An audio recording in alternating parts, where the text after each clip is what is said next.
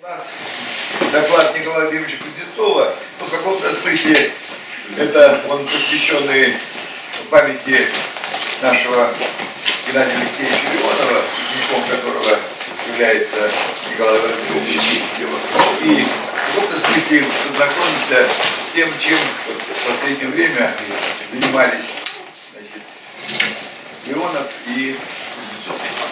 Николай Николаевич, минут 40 примерно. Да, спасибо, Слайды у меня будут на английском языке, как так, по традиции всегда делали с Геннадием Алексеевичем.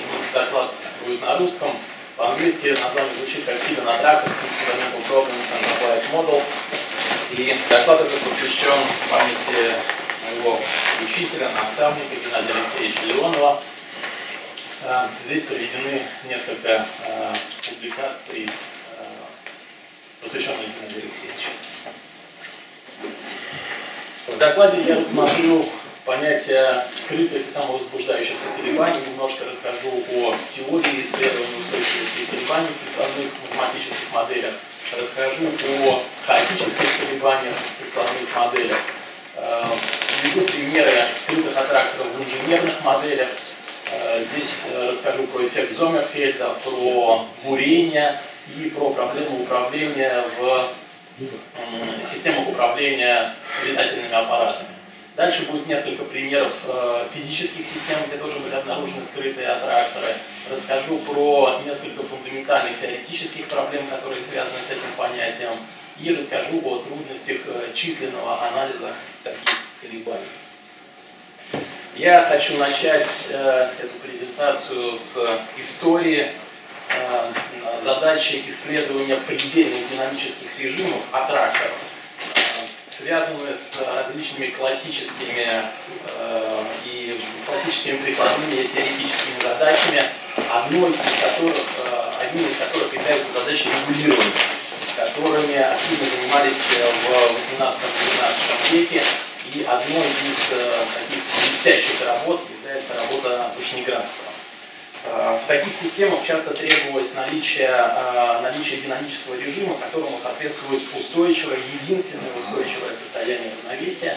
И вот примером анализа, такой э, задачи анализа динамики является работа Вышнеградского, в которой он провел линейзацию в окрестности динамического режима математической модели, которая описывает регулятор Ватта, и показал локальную устойчивость этого состояния э, динамического режима, состояния. Однако достаточно быстро выяснилось, что кроме динамических режимов, соответствующих устойчивым состояниям равновесия, есть различные механические инженерные системы, в которых возникают периодические динамические режимы. Это знаменитая работа Реле по теории струн, где возникал э, так называемый предельный цикл теперь. И очень интересная работа ЛЭТ, почти забытая, 1985 -го года, посвященная возникновению периодических режимов в системах регулирования с сухим трением. Кроме этого, достаточно быстро выяснилось, что а, необходимые условия существования рабочего режима, соответствующего устойчивому состоянию равновесия, локальный анализ, не являются достаточными условиями глобальной устойчивости. То есть мы бы хотели, чтобы в нашей системе регулирования все решения притягивались к единственному состоянию равновесия. Таким образом, это потребовало развития новой теории, которая, с одной стороны, обеспечивала глобальный анализ и отсутствие э, колебательных режимов, а с другой стороны, учитывая режимов в прикладных системах, потребовало развития теории анализа таких колебательных режимов. Э, эти работы были связаны э, во многом с научной школой академика Андронова, который соединил в своих работах математические идеи предельных циклов Пуанкаре с накопленным э, инженерами опытом исследования таких колебательных систем. Андронов в своих работах развил теорию, теорию колебаний, которая позволила эффективно анализировать и описывать колебательные процессы во многих прикладных системе.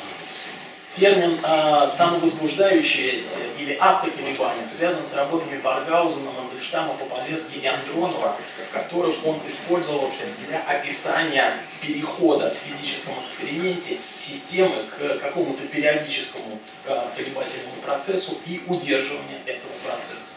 Ну вот классический пример это генератор колебаний Мандерполя. Вы включаете электрическую схему и у вас траектория, изображающая из э, вот ваших нулевых начальных данных, вы включили систему, притягивается к периодическому циклу и удерживает его. Достаточно быстро было показано, что кроме периодических предельных динамических режимов могут быть э, хаотические предельные динамические режимы, э, работа Лоренца, Уеда, которые показали, что в системе траектории могут притягиваться к некоторому хаотическому множеству. Здесь точно такая же ситуация. А, это, правда, физическая система, здесь нет включения, но тоже есть состояние равновесия. Лоренц при моделировании запускал траектории из окрестностей этого нулевого состояния равновесия и смотрел, как численная процедура притягивалась от какому-то хаотическому обрату. Понятие переходного процесса в этих системах, инженерное понятие, тесно связано с э, численными методами возможностью вычисления траекторий в динамических системах. Колебание может быть вычислено, визуализовано численно, и если начальные данные из его окрестностей будут к поведению, которое после переходного процесса притягивается к этому колебанию. С вычислительной точки зрения такие колебания, колебаний называются аттракторами, и множество тех состояний равновесия, которые притягиваются к этому колебанию, называется областью притяжения. Таким образом, а, а, вот следуя этой истории, стандартное исследование нелинейных систем а, заключается в следующем. Вы берете нелинейную динамическую систему, непрерывную или дискретную, определяете состояние равновесия этой системы, проводите локальный анализ, устойчивое состояние равновесия это хорошо, а при окрестности неустойчивое состояние равновесия вы, следуя вот, изложенным выше подходом, выпускаете траекторию и смотрите, к чему она притянется. Эта траектория может притянуться к устойчивому состоянию равновесия, у вас может быть э, глобальная, э, глобальная устойчивость, как, например, в маятнике строения, либо может притянуться к некоторому колебательному режиму, который можно анализировать, либо некоторым образом подготовить. Возникает вопрос, как выбирать начальные данные, чтобы найти все такие предельные динамические режимы, предельные аттракторы в вашей системе. Что делать, если ваш аттрактор, область притяжения вашего аттрактора не пересекается с окрестностями состояния равновесия? В 2009 году э, Геннадий Алексеевич вместе со мной предложил классификацию аттракторов, самовозбуждающиеся и скрытые аттракторы, которая отразила трудности, отразила опыт инженерного анализа колебаний и отразила трудности поиска таких колебаний. Аттрактор называется самовозбуждающимся, если область его притяжения пересекается с малой окрестностью состояния равновесия. В противном случае аттрактор называется скрыт. То есть где-то в системе далеко от состояния равновесия у вас находится предельный динамический режим с маленькой небольшой областью притяжения, и задача заключается в том, чтобы его найти в вашем базовом пространстве. Эта классификация была предложена впервые в связи с открытием а, скрытого аттрактора в знаменитой электронной системе ЧУА. А, после открытия аттрактора Лоренса стал вопрос о верификации его результатов, потому что это были численные результаты физической модели. И он Чуа, теперь всемирно известный профессор Беркли, а, предложил простейший генератор хаоса электронный. Вот такая цепь с одним кусочно-линейным, нелинейным элементом, и в этой цепи обнаружились хаотические колебания. Эта цепь исследовалась э, там, уже больше 25 лет, ей посвящены, наверное, там, больше 10 тысяч работ, где она упоминается. В этих статьях найдены сотни различных типов аттракторов в системе ЧУА, вот таких аттракторов.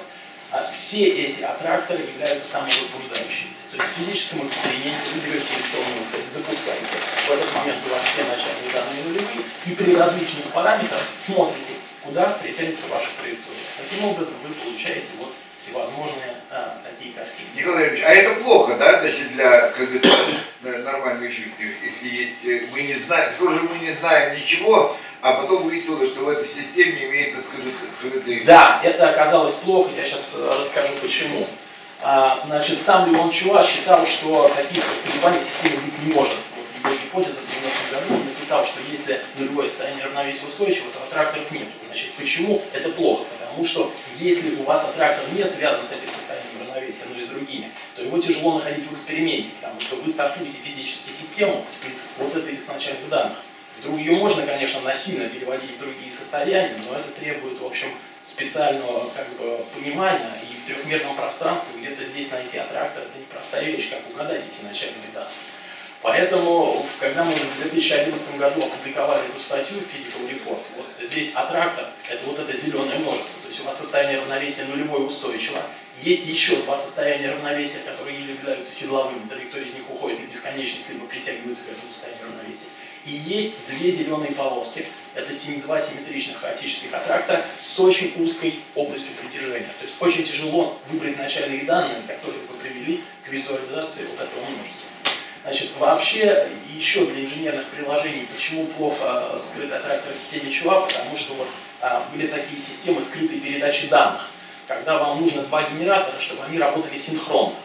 И вы запускаете один генератор, запускаете другой генератор, один генератор смотрит на другой и пытается себя подстроить, чтобы у вас вот эти траектории периодически или хаотически стали двигаться синхронно. Тогда вы можете модулировать туда некоторые данные и снимать. Так вот, все хорошо, когда у вас в системе два глобальных аттрактора. Вы берете, запускаете два генератора, у них, естественно, разные начальные данные немножко. Но за счет того, что аттракторы будут как бы одни и те же, у вас постепенно все становится хорошо.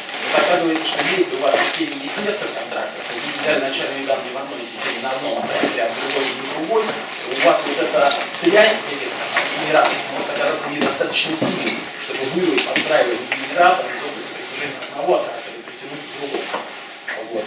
Ну, сейчас эти работы там ведутся не так интенсивно, как раньше, как я понимаю, в связи с э, другими принципами шифрования и так далее. Но, тем не менее, вот Э, мы показали, что там, некоторые примеры там, из книжки там, Капитаника и так далее, они перестают работать на скрытых аттракторах. Поэтому это, конечно, плохо здесь.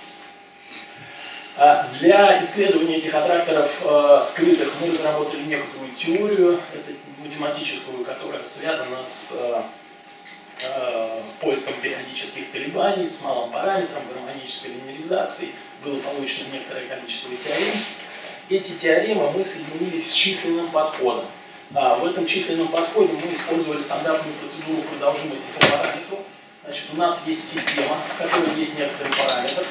Для начального параметра мы можем найти стартовое колебание в системе периодическое, либо аналитически используя теорию, либо мы избегаем параметр так, чтобы в системе аттрактор стал самовозбуждающимся. Тогда мы его просто можем определить есть мы берем начальные данные в ответном состоянии равновесия, получаем некоторое хаотическое множество, а дальше смотрим, как это хаотическое множество начинает меняться при изменении параметров. При этом мы стараемся менять параметр мало, так чтобы не потерять область э, притяжения нашего аттракта. Начальные данные у нас уже оторваны по состоянию равновесия, потому что мы смотрим, как же меняется. А изменение параметра обеспечивает нам э, ну, вот, диффузацию состояния равновесия, они становятся устойчивыми и выводит нас в финальную систему, в которой мы пытаемся найти уже. Ну, вот такой пример для системы ЧУА, для малого параметра можно найти специального модификации метода гармонического баланса периодическое решение. Потом мы начинаем параметры увеличивать в конце концов смотрим, как а, вот это периодическое решение превращается в наши скрытые фактические обратки. Вот такая достаточно простая процедура оказалась для построения. Но так вы не все найдете аттракторы. Конечно, не все. Значит, это в общем случае, я сейчас расскажу об этом, конечно. То есть э, мы нашли какой-то такой аттрактор. А Чуа, когда мы в 2012 году встретились с Гонконгом, был потрясен этими результатами, то есть мы оказались полным шоком, а с другой стороны, значит, вдохнуло в него новую жизнь, потому что значит, после 25 лет исследования этой цепи он увидел новые горизонты. Вот, мы стали вместе с ним сотрудничать, и в общем случае как раз появилась задача определения а, с его стороны максимального количества, сколько всего может существовать у вас аттракторов в системе ЧУА.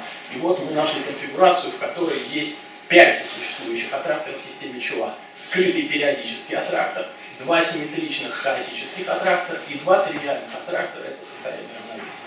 В общем случае задача, сколько всего может быть существующих аттракторов в системе ЧУА, остается открытой.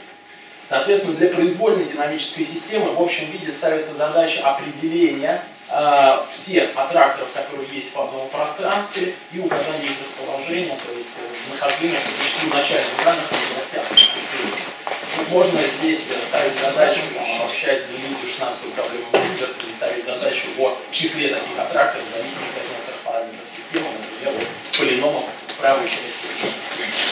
Это наша фотография с Леоном Чуа, одна из наших последних э, поездок с Геном Алексеевичем, была на, в октябре прошлого года. Леон Чуа. Э, Ой, ну это все при малом параметре уравнения. А, При малом параметре мы только применяем теорию. Чтобы что-то обосновать, нам приходится нелинейно сделать малый, там, чтобы Гарамбалан строго. А дальше? А дальше мы численно уже... Только численные? Только численно. А какая уверенность в сходимости? А уверенность в сходимости, ну, если говорить про систему Чуа, то потом просто были спаяны схемы и на характере А, ну, то есть получена логика. То есть мы конкретно. получили начальные данные, Чуа посадил людей, они спаяли, заставили начальные данные системы вывести в те точки, которые мы сказали, и он просто увидел эти картинки целом А мы, конечно, ну, смотрим стандартные, значит, численные методы, мы здесь... э, э, А насколько можно быть уверен, что вы же решаете э, на машине не изначально уравнение, а конечных радостей, да? Ну, Как, вот что там та же динамика, что в первоначальных уравнениях. Здесь э, достаточно как бы вот э, вопросы, связанные с точностью описания этой модели, этой системы, им занималось огромное количество людей вот на протяжении этих 25 лет. То есть у Чува сидел там, я понимаю, отдел, который занимался значит, тем, что паяли эти схемы, и сидели значит, ученые, в основном из России, это Глушильник, Валентин Алексеевич Леонов, Белых, огромное количество ученых, которые как раз занимались теорией. И дальше эти результаты сверялись. Ну вот оказалось, что на системе Чуа совпадение хорошее. Вот. Но и нам важно предсказать наличие этого скрытого аттрактора. То есть мы его математически предсказали, точно или не точно, где-то нам повезло, а дальше идет верификация уже натурная. Если он есть, эти параметры положены. Я просто спросил, потому что вы э, сказали, что и для э, случая, когда у вас пятибалльная система, вы тоже э, проводили какой-то анализ. Да? А мы использовали численную процедуру, да, основанную на изменении параметров. Да. Но финальная как бы, схема, она уже с этой процедурой не связана. То есть в конце мы численно обнаружили э, параметры системы, в которых мы численно хорошо видим различные области устойчивости. То есть мы численно видим притяжение к нулю и понимаем, что там нет ошибки. Ну, можем там использовать шедлинг, там еще что-то показывать. И численно хорошо видим эти аттракторы. То есть траектория сильно к нему сходится. Значит, ну, естественно, можно это теоретически пытаться обосновывать, но вот в качестве верификации здесь э, мы просто использовали э, физическую схему. Ну вот Леон Чуа э, этот, по-моему, год проводит в Дрездене. Они организовали большой центр в Дрездене, посвященный мемристерам. Это вторая любовь Леона Чуа, значит, э, схемы, которые такие тоже электронные схемы, которые позволяют работать как память и там, вычислительный агрегат. И был организован огромный центр в Дрездене, и вот Леон Чуа находится там. И Геннадий Алексеевич, э, вот такая креативная у него была черта, когда узнал, что он в Дрездене, а мы делали совместную работу, просто предложил с ним пообедать, обсудить статью. Мы приехали на несколько часов, поговорили с Леоном, вот, обсудили статью, послали ее в журнал и уехали обратно. Вот, фотографии из Дрездена. Теперь я хочу перейти к инженерным моделям, в которых тоже находятся скрытые колебания, и начать хочу с известного эффекта Зомерфельда. Значит, замечательная работа 1902 года, в которой записано, в котором описан эффект застревания частоты, вращения там, ротора или маятника. Этот эффект хорошо известен а, в этом институте, значит, здесь этим занимался активно Илья Иванович Блехман. Вот я видел работу Дмитрия Анатольевича и Александра Львовича, посвященные этой тематике. А, я здесь рассмотрю модель, которую я взял из статьи а, Александра Львовича. Значит, вот а, такая математическая модель, такое механическое пояснение к ней. Значит, в этой модели мы начинаем раскачивать маятник, подаем значит, на него постоянную, э, постоянное возбуждение э, DC-моториком. И при выбранных здесь параметрах оказывается, что вместо того, чтобы эта энергия переходила в раскручивание маятника, она переходит в колебание тележки. И таким образом мы при включении системы, вот мы запустили нашу систему, я это делаю численно, переходим вот к такому колебательному режиму. Значит, сильно колеблется тележка, а частота вращения маятника оказывается недостаточной.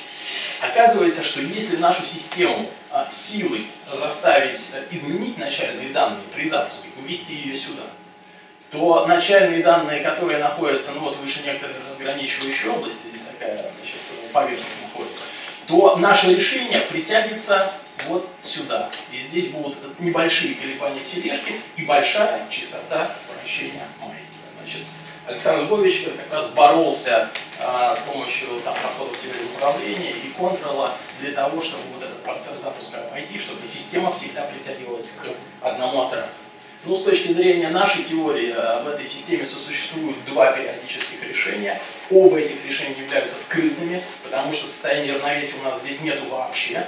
Но вот с механической точки зрения, с точки зрения эксперимента, выходит, что одно из них здесь естественным образом находится просто при запуске системы. А где находится второе, значит, нужно специальным образом анализировать. После того, как вы находите область притяжения э, второго э, аттрактора, вы можете э, прикладывать различные методы управления для того, чтобы вашу систему при запуске вывести в нужную область. Следующий пример связан с бурильной установкой. Э, здесь э, мы использовали математическую модель, разработанную в Техническом университете Инхойна в группе Хенка Нимейра.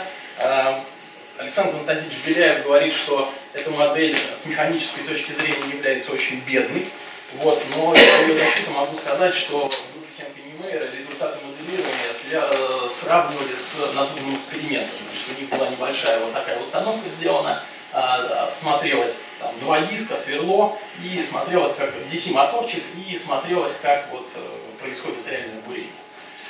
А, в этой системе, а, как гласит легенда, значит, когда в Инхойме сделали вот эту установку, то было сказано, что для того, чтобы вот эти свертлы длинные не ломались при начале сверления, то надо было вначале запустить моторчик и раскрутить сверло, а потом его опустить и добавить трение. Но очередной студент, который этого не знал, вместо этого вначале опустил сверло, то есть приложил тренинг к системе, а потом нажал кнопку пуск. И система вместо того, чтобы притянуться к устойчивому состоянию равновесия, ну вот когда у вас все сверлится, притянулась неожиданно к некоторому колебательному режиму. То есть вот вы берете дрель, ставите ее к стенке и включаете. И у вас сверло начинает вот часто ходить там, туда-сюда. Вот был зафиксирован такой неприятный режим. Ясно, что если вы будете долго значит, так болтаться, то сверло у вас может перегреться и сломаться. Ну а с нашей точки зрения э, это объясняется, и как раз говорили с это связано с наличием в системе скрытого колебания, которое как раз ну, вот, естественным образом, простым аналитическим анализом значит, здесь было не видно. Случайно его обнаружил студент, нарушив технику безопасности работы с установкой а мы потом уже э, показали, как это связано вот с той теорией, которая есть у нас. Ну, различные работы, тут можно ставить дальше другие моторы, смотреть, э, значит, и преодолевать тоже, тоже, по-моему, работы Хэнка Нимейра, может быть, э, там Александр Львович как-то в этом участвовал. Ну, я точно помню, что Хэнк Нимейр значит, в его группе, они боролись тоже с запуском, чтобы преодолевать такие ситуации. Значит, проблема, э, дело не только в запуске, а проблема в том, что когда вы сверлите там шельф или еще что-то, у вас сильно меняется трение. То есть вы были в песке, а потом наступил гранит. И вот это резкое изменение трения, оно вот, значит, приводит вот э, как раз к таким неприятным эффектам. Следующие задачи связаны с управлением летательными аппаратами здесь я хочу рассмотреть э, модель э, Мстислава Келдыша, которую он исследовал в 1944 году. А, значит, Келдыш прославился тем, что получил государственную премию за работы по подавлению флаттера. Вот. И э, значит, вот у советских самолетов флаттер был подавлен, в то время как в Германии было, по-моему, больше 150 аварий на опытных самолетах. То есть у них этот процесс проходил гораздо труднее. Ну а потом, значит, Келдыш был президентом Академии НАТО. В своей работе 1944 года он исследовал подавление флаттера с помощью вот э, такого э, гидравлического, э, гидравлического демпфера, в котором есть сухое трение. То есть вы к системе управления, которая здесь есть, это картинка из статьи Пархомовского, к сожалению, журнал в таком виде, в единственном экземпляре мы оттуда копировали эту картинку.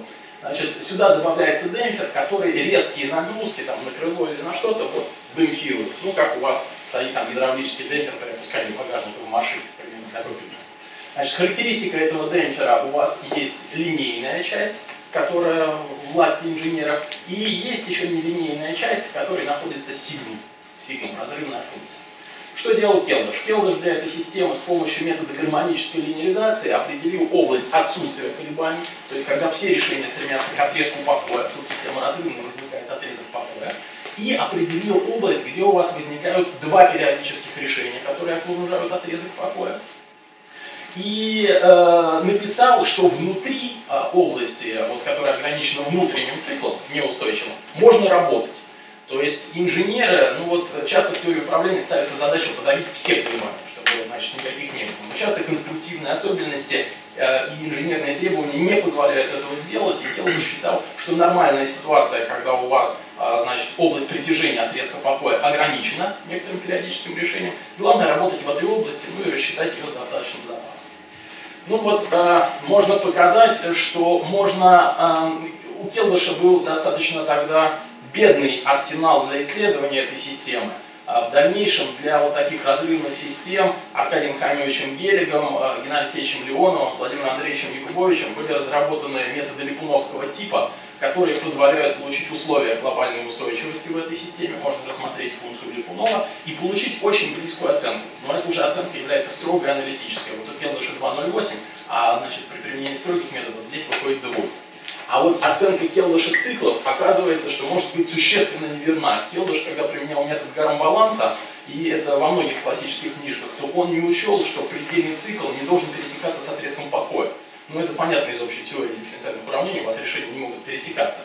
Но вот он этого не учел, и когда у вас отрезок покоя там, значит, увеличивается, то он разрушает эти циклы. У вас происходит такая интересная как бы, глобальная бифуркация, порожденная такими локальными изменениями. Ну вот такой интересный результат. Дальше Келдышра, это у него была такая демонстрационная модель. Дальше такую же теорию можно применить для полной модели, где у вас есть две степени свободы, значит, там четырехмерная система. Тоже получить вот в этом же духе, там, разрабатывать частотные методы, метод глобальной устойчивости. И также можно оценивать возникающие там а, предельные циклы. А, а в, вы сказали двойка вот методами значит, Геллига да. И других э, двойка, а главное, э, на работе Килдыша ссылались когда, когда вот это было опубликовано, или не знали? Двойка? Это мы получили только что. Этот результат а. сейчас будет опубликован в докладах Академии наук, то есть его просто никто не делал. А, я совсем не а, Да, ну понимаете, ссылка на книгу э, да, да, мы применили эту теорию вот только а. что, но просто тут ситуация такая, что для двух вот для этой системы тут все очевидно, тут не о чем писать. А вот когда у вас полная модель, уже там, значит, четырехмерная система, то там э, прямое применение невозможно, и там нужно дорабатывать методы, и там приходится возиться. Просто очень хорошая точность, два и главное, да, да, да, да. да. классическим результатом. Да. Значит, вот у Келдыша просто не было тогда этого арсенала. То есть, несомненно, если бы он знал лабо работу Лурье, там еще что-то, то он бы все доделал. Но, значит, была война, он все делал быстро и, значит, ну, в общем, потрясающе. То есть область устойчивости он оценил хорошо. А с циклами, конечно, значит, ну, возникают понятные проблемы. А тогда же не было еще, в 1944 году даже не было теории разрывных систем. То есть все работы там Филиппова, там все это было позже. А, в современных системах тоже возникают такие же проблемы, и значит, ну, вот, стандартная система управления, где у вас есть нелинейность типа насыщения. А, в 1992-1993 году произошли аварии при посадке самолетов. Значит, современные истребители, они устойчивы на высоких скоростях, но при посадке у вас а, поток воздуха ослабевает, и они становятся с математической точки зрения там, marginally stable, да, значит, погранично устойчивы. И, значит, э, есть видео посадки, значит, F-22, где э, из-за действия летчика или из-за ветра начинаются вот такие колебания у самолета. И за те там 2-3 секунды, которые отведены ему на посадку, система не справляется. То есть у вас система притянулась к другому аттрактору, вместо устойчивого состояния равновесия она притянулась вот к вашему устойчивому периодическому решению, которое возникает в системе. И система управления за короткое время не успевает вырвать оттуда систему, не вернуть ее в состояние равновесия. Произошло две аварии, и на Центральной американской конференции, посвященной управлению CDC в 1977 году, Ладваль, это, по-моему, аспирант, а, значит, Мюррей такой и Фоссен, известные люди из Штатов и Швеции, они написали, что устойчивость в моделировании не влечет устойчивости в физическом эксперименте. Это как раз, значит, во многом связано вот с трудностью анализа скрытых колебаний, потому что реальные системы, которые все это описывают, мерные размерность там э, сотни и даже тысячи. То у вас огромной размерности фазовое пространство, в котором где-то у вас находятся вот эти скрытые колебания. И, конечно, значит, инженеры что могут сделать? Найти состояние равновесия, провести локальный анализ, провести моделирование в окрестности неустойчивого состояния равновесия и провести какие-то рандомные тесты. Ну вот, э, значит, оказалось, что этого недостаточно. и что здесь очень важен анализ скрытых колебаний. Вот э, некоторым обзором э, как раз э, таких систем, методов подавления таких колебаний вот, занимался Саша Погромский в Эйнховене и Борис Алиславович Андреевский. Теперь я хочу коротко рассказать о некоторых физических примерах, э, которые возникают. Ну вот стандартная система Лоренса, в ней аттрактор для классических параметров является самовозбуждающимся, то есть он строится из окрестности состояния равновесия. И у вас есть три состояния равновесия, вы можете его построить из окрестности любого из этих состояний равновесия. Можно поменять параметры так, чтобы у вас появилась мультиустойчивость. Аттрактор будет самовозбуждающимся только относительно одного состояния равновесия, два состояния равновесия станут устойчивыми. То есть у вас в системе три аттрактора. Вопрос о существовании скрытого аттрактора в системе Лоренса до сих пор остается открытым. Было две ошибочные работы, в которых вот как раз вопрос, который вы задавали о точности вычислений, приводил к тому, что люди считали, что построен аттрактор, но на самом деле это оказывался так называемый transient house. То есть траектория притягивалась, долго колебалась на очень длинном интервале времени, там, значит, миллионы единиц. А потом все равно сваливалось состояние равновесия. А, значит, это принималось за аттрактор, ну вот несколько ошибочных работ. А, а, мы рассматривали систему близкие к системе Лоренса, это модель Глуховского-Должанского, э, физическая, значит, Глуховский сейчас находится в Штатах, мы посылали ему этот результат, нашли здесь скрытый аттрактор. В системе Рабиновича, которая описывает взаимодействие волн в плазме, тоже был найден скрытый аттрактор, значит, Рабинович сейчас находится в Сан-Диего, мы с ним тоже переписывались он очень с большим интересом смотрел за этой работой. Ну вот метод continuation, когда мы эти системы связывали в пространстве параметров, в частности, проходили здесь и через систему Лоренса, где возникал Тренджинг Хаус. Система Рабиновича-фабрикантов, которые мы вместе с румынскими коллегами тоже нашли скрытые аттракты, ну и некоторые другие модели. Теперь я хочу э, вернуться к фундаментальным проблемам, на самом-то деле, с которых мы начали эти исследования, и сказать несколько слов о э, критериях отсутствия скрытых колебаний, вообще колебаний в теории абсолютной устойчивости, о контрпримерах э, к гипотезам Азермана Калмана и о 16 проблеме Гибера. В середине прошлого века, вот следуя работам там, Уата, Вышнеградского и так далее, появилась потребность некоторого общего исследования отсутствия колебаний в системах регулирования. И одна из э, первых таких знаменитых работ, это работа э, Анатолия Исааковича Луре 1944 года, когда он предложил эффективный метод построения функции Липунова в виде квадратичной формы плюс интегральной линейности. Оказалось, что такая функция Липунова позволяет ну, для достаточно широкого класса получать критерии отсутствия скрытых колебаний в системе и критерии устойчивости. Но это были достаточные условия. Соответственно, стал возникать вопрос о получении необходимых и достаточных условий, о выделении класса систем, для которых такие условия можно построить. Э, эти, эти работы были связаны с гипотезами Азермана и Калмана. Калман предложили рассматривать э, такой класс систем, что для всех линейизованных систем из этого класса у вас есть линейная устойчивость одного состояния равновесия, то есть все стягивается к нему, и тогда нелинейная система из соответствующего класса, то есть вы берете нелинейность из того же сектора, оттуда брали линейные функции.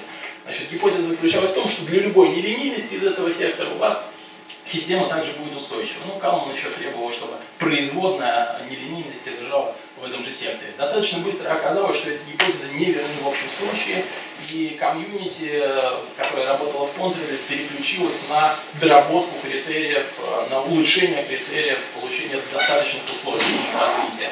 Вот знаменитые работы Попова и Кубовича Калмана, говорят другом порядке, я здесь написал хронологически. Это частотные условия, которые э, дают вам существование функции Липунова, которые обеспечивают вам устойчивость и отсутствие э, скрытых колебаний.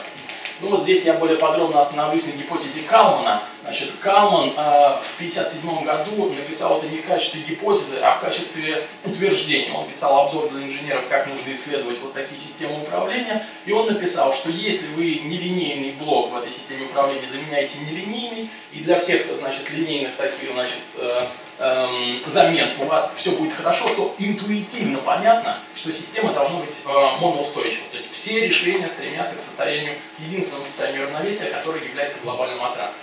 Ну вот потрясающий факт, что Калман, конечно, был гениальным инженером.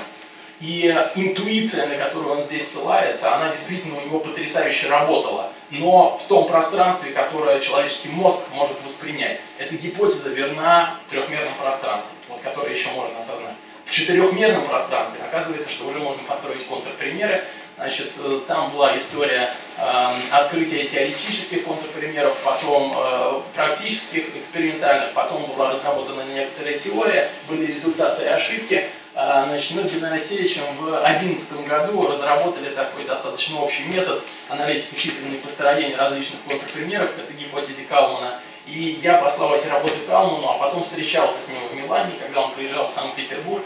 И Кауман мне написал, он, значит, ну, великий ученый уже, все, он написал, что он был тогда too young and lacking technical mathematical knowledge to go more deeply into the matter. То есть вот инженерная интуиция у него работала, а значит математическое понимание трудностей пришло у него позже, когда он как раз занимался достаточными условиями. Есть он, видимо, быстро понял, что здесь не все так просто, потому что уже в 60, там, по-моему, втором году, да, его работы, я не помню, в 63-м, а, первой работы Каумана, он как раз вот стал развивать достаточные условия, которые гарантированно обеспечивали 63 63 отсутствие таких колебаний здесь. Ну вот, к сожалению, Рудольф Кауман недавно скончался. Другая проблема, которая связана с, со скрытыми колебаниями, это известная 16-я проблема Гильберта, а точнее ее вторая часть. А, значит, Дэвид Гильберт на математическом конгрессе поставил некоторое количество проблем, и одна из них была определить количество предельных циклов вот в таких двухмерных полиномиальных системах. Оказалось, что эта задача трудная даже для э, вот, э, квадратичных полиномов. То есть дальше идти не надо, она до сих пор не решена в общем виде. Первые нетривиальные результаты связаны с Андроновской школой, их получил Баутин в 1952 году. Он построил три вложенных предельных цикла. И это явилось развитием тоже его работы, связанной с э, э, военным нашим комплексом об определении опасных и безопасных границ. То есть вот бифуркация Андронова Хоппа, которая возникает, там критическая, соответственно, он определял опасные и безопасные границы. И в частности применил этот метод, э, значит, вообще это не было основным направлением его исследований для построения трех предельных циклов в квадратичной системе. Ну вот вложенный предельный цикл является, соответственно, скрытым колебанием, потому что вы к нему не можете перейти из состояния равновесия, он поджат, и не можете перейти из бесконечности. Дальше была известная ошибка академика Петровского, он был ректором МГУ, вместе с Ландис они опубликовали работу, что только может быть три цикла в такой системе. Китайцы обнаружили четвертый цикл, ну и вот в настоящий момент известно, что можно построить четыре цикла в этой системе. На примере этой системы я хочу показать трудности численного анализа скрытых колебаний. А, Арнольд в своей книжке описывал, что Колмогоров а, во второй половине прошлого века развлекался следующим образом. Он, читая лекции в МГУ, раздавал студентам случайно сгенерированные вот такие системы и просил их, следуя совету Панкаре, построить в них предельные циклы. Эффект оказался неожиданным. Среди многих сотенных розданных примеров ни один студент не нашел ни одного предельного цикла. То есть, а, хотя известно, что область в пространстве параметров имеет нулевую меру, значит, это можно сделать. Ну вот, э, мы разработали э, с Геннадием Алексеевичем некоторые э, аналитические методы, которые соединили с численной процедурой и позволили эти методы нам получить визуализацию всех четырех циклов. Вот здесь три вложенных цикла нормального размера. Значит, вот устойчивое состояние равновесия, неустойчивый цикл и вот устойчивый цикл, вот этот зеленый, который является скрытым колебанием. Этот цикл является неустойчивым, а этот устойчивый цикл вокруг другого состояния равновесия. Другой пример сложности численного анализа э, связан с ну вот, э, широко используемыми пакетами различной виртуальной реальности, которые у нас используются. А, значит, здесь это пример программы Spice, ну вот там Simulink, некоторые, наверное, есть механические программы, когда вы набираете прямо некоторые физические компоненты, соединяете их, и инженеры часто считают, что вот то, что происходит, а, что они наблюдают реальный физический эксперимент, потому что дается полное ощущение, что вот значит, все происходит по-настоящему. На самом деле, конечно, надо понимать, что любая компьютерная реализация в наших условиях требует некоторой дискретизации. И мы привели пример э, системы э, фазовой автоподстройки, которая используется в системах глобальной навигации, GLONASS GPS, телекоммуникации, передачи данных для разных других целей, где есть скрытые колебания, и показали, что при должной настройке вы в этой системе получаете глобальную устойчивость, ну параметры так специально подобраны. А если вы начинаете эту систему дорабатывать, что скрыто от обычных пользователей, то оказывается, что у вас в системе есть скрытое колебание. Ну вот эту работу мы проводили вместе с Жавани Бьянчи, известный инженер из Италии, сейчас он работает в Германии в крупной конторе. И как раз у него большой департамент занимается именно моделированием. Для него этот пример стал некоторым откровением. Он сказал, что математика действительно чего-то стоит. Я немножко хотел рассказать про историю возникновения этого термина, буквально еще несколько минут, э, скрытые колебания. Как все начиналось, откуда пошел термин hidden. Все началось э, в 2008 году, когда мы занимались 16-й проблемой Гильберта и обсуждали первые баутинские примеры построения трех предельных циклов. Баутин их строил теоретически, и поэтому там нужны были последовательные малые возмущения. Порядка там 10 в минус сотый, 10 в минус двухсотый, чтобы построить эти циклы. И поэтому эти циклы невозможно было увидеть численно. То есть построить их было нельзя. И на пленарном докладе в Москве и во время защиты моей э, второй диссертации PhD Финляндии в обсуждениях мы шутили, там Геннадий Алексеевич принимал участие в этом, академик Черноусько в Москве, что вот э, эти циклы, они скрыты от численных методов, что вот численные методы есть, циклы есть, аналитически мы знаем, что есть, но увидеть их нельзя. Так впервые появился термин «скрытый». Э, дальше, э, в 2009 году Александр Вович э, пригласил Геннадия Алексеевича в Катанию сделать пленарный доклад на Фисконе. И Геннадий Алексеевич в процессе подготовки к этому докладу, он тогда занимался Калганом гармоническим балансом, попросил меня применить гармонический баланс для, для электронной системы ЧУА. Я до этого никогда не работал с системой ЧУА, и первый раз, когда взял ее, случайно выбрал такие параметры, что в этом эксперименте аттрактор колебательный оказалось, что он слабо связан с состоянием равновесия.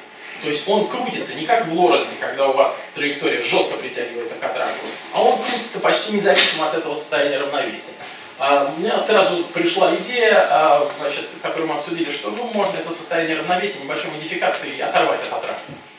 А, эта работа была доделана, и в 2010 году мы презентовали этот результат на другой факторской конференции, вот, вместе с нашим аспирантом а, Владимиром Вагайцем и Геннадием Алексеевичем. А, достаточно быстро стало понятно, что модифицировать систему HR не нужно, отталкиваясь от найденного скрытого аттрактора, используя continuation, мы ушли от модификации и в 2010-2011 году получили скрытый аттрактор уже в самой системе HR. Вот получилась а, первая наша работа, где появились а, как раз строгие определения.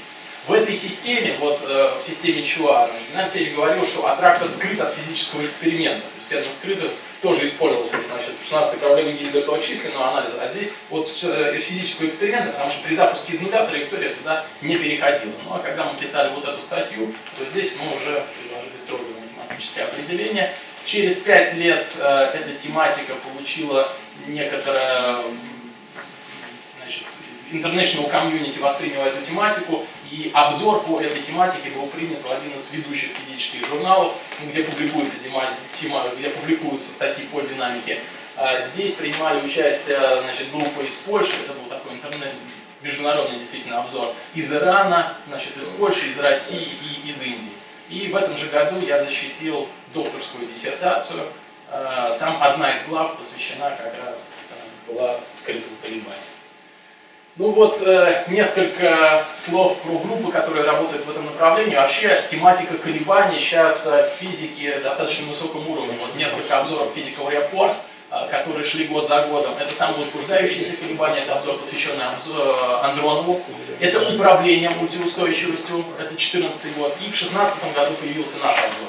Значит, в журналы более высокого физического уровня, ну вот самый топ, там, значит, ну, естественно, такие статьи не пропускают, там только физические всякие эксперименты. Вот, наверное, по динамике это максимальный уровень журнала, который позволяет э, публиковать такие статьи. Быстро появились группы в Штатах, в Бразилии, в общем, по всему миру, которые активно работают в этом направлении. Ну вот, я хочу отметить Гуанрона Чена, э, группу Капитаника, Луиджи Фортуна, э, Спрот, очень известный человек из Штатов. И э, группы в России, значит, ну вот некоторые. Группа в Москве, э, группа Кудряшова, группа в Саратове, э, Кузнецова. Вот э, статья Александра Николаевича Шевилова в соавторстве с э, Жанбайтер Субрановичем и с Медведевым. Э, и э, Игорь Михайлович Буркин из Тулы, он применяет э, методы из э, книжки Буркин Леонов Шепелявый. Это частотные методы, которые позволяют строить условия существования, наоборот, цикла а дальше применять локальный анализ, чтобы сделать их скрытыми. Ну вот несколько наших основных обзоров на эту тему. И я хотел сказать, что эта работа, которую мы провели за вот, там, последние 10 лет с Геннадием она была бы невозможна без э, вклада наших студентов. Здесь э, вот я вижу да, Тимура, э, которые присутствуют на этой лекции. Это Марат и Ренат Юлдашевы, которые занимались скрытыми аттракторами в ПЛЛ. А, Костя Александров, который тоже занимался ПЛЛ, Лена Кудряшова и Оля, которые занимались 16 проблемой Гильберта, и Маша Киселева, которая занималась дриллингом. Спасибо большое за внимание.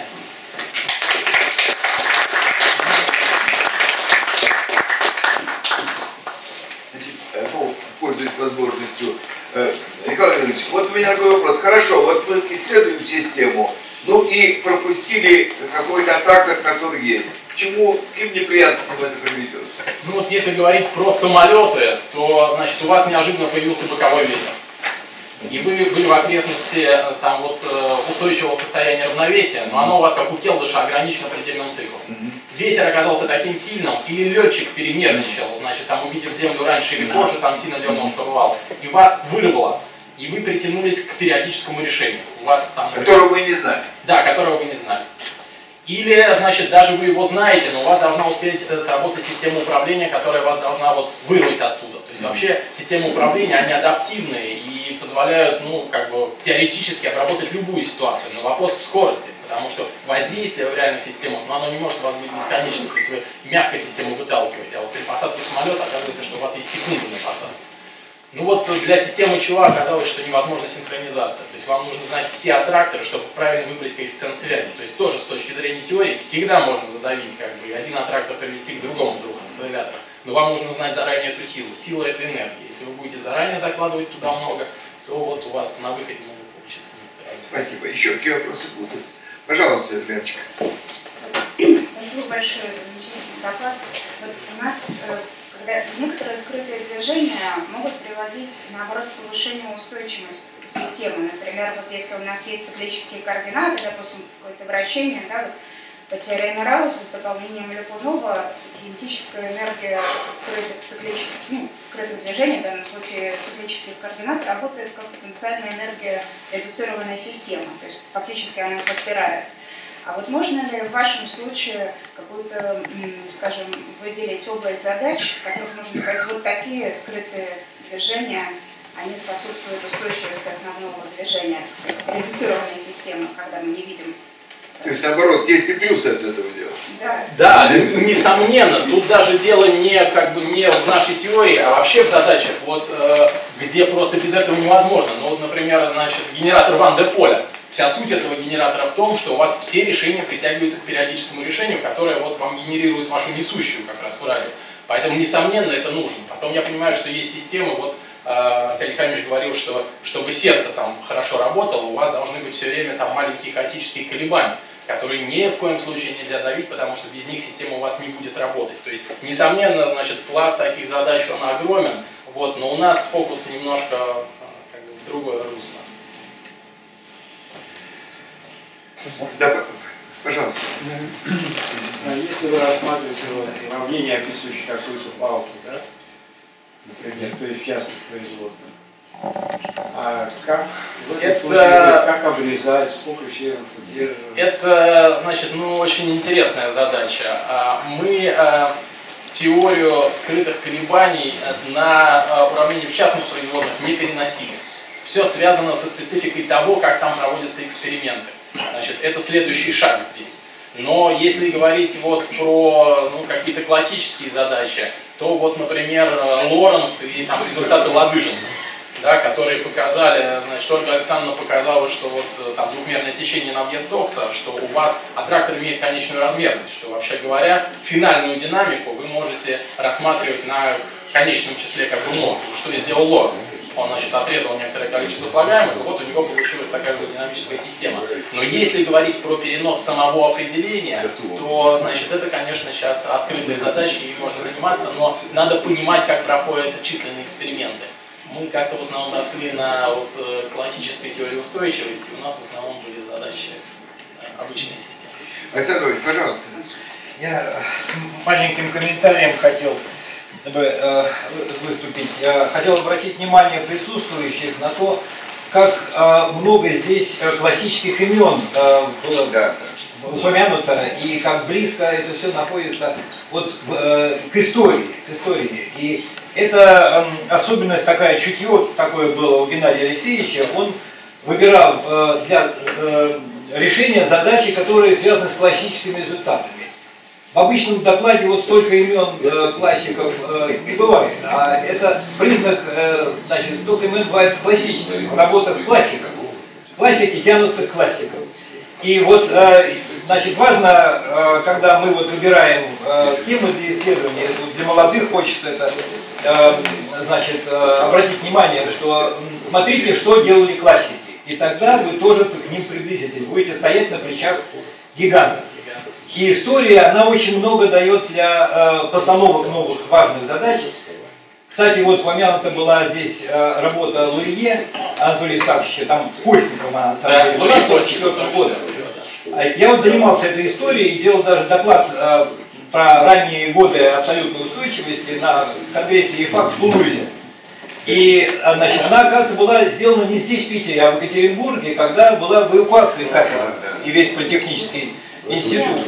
И там вот Постников, это был аспирант Малкина, Малкин там тоже работал, там такая группа образовалась. Тоже самолетная тематика же. да. Да, э, к сожалению, вот Постников скончался от туберкулеза сразу после войны, и э, Луи остался в этой тематике один, пока вот пришел уже, книжка была написана в 50-е годы, Розенбассен пришел, Ефим Натанович, и вот тогда это пошло дальше развитие. То есть история многому учит, многому учит, это я хотел сказать, и чутье у Геннадия Алексеевича было потрясающее на э, результаты, так сказать, вот классического уровня. Потрясающая эрудиция. Вот как мы вернулись к задаче Келдыша. А, Мы делали доклад в Москве, и как-то вот у нас э, ну, самолетная тематика, были сложные примеры. А, Современные, там была большая размерность, все, я Геннадию Алексеевичу сказал, что вот не хватает нам, здесь надо как-то усиливать в рамках взаимодействия стаи какие-то красивые примеры. Геннадий Алексеевич пил кофе, задумался так, а потом говорит, вот я помню у Келдыша была одна работа, где он один соавтор, и он исследовал там колебательную систему. Ничего, говорит, больше не помню. Значит, я тут же на докладе скачал труды Келдыша, нашел работу. Когда Геннадий Алексеевич все это успевал читать, я не знаю. Да-да-да, говорит, очень похоже. Спасибо большое. Дорогие друзья, ну я думаю, еще раз благодарим э, Михаила Владимировича.